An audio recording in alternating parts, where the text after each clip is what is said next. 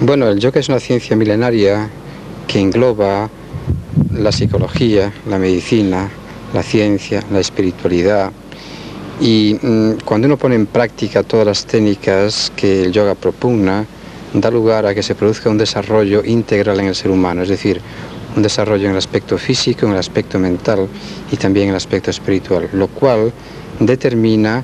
que existe un desarrollo global de la personalidad en el individuo y da lugar a que éste sienta plena satisfacción, porque todos queremos ser más felices, todos queremos estar más sanos, todos queremos estar mucho más contentos y el yoga lo que hace es equilibrar la búsqueda tanto en el exterior, en los bienes digamos materiales sin apegarse a ellos, sin aferrarse a ellos, sino producen dolor y también implica el yoga una búsqueda interna, con lo cual el ser humano gana en equilibrio. Tú eres español. ¿Mm? ¿Qué actividades desempeñas en España? Bueno, en España eh, llevamos a cabo múltiples actividades porque desarrollamos clases de yoga, llevamos a cabo encuentros, simposios internacionales,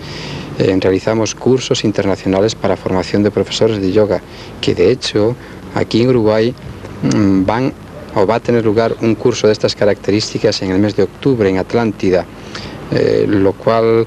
va a dar lugar a sí mismo a que asistan eh, personas de todo el mundo para participar de este curso. Y yo aprovecho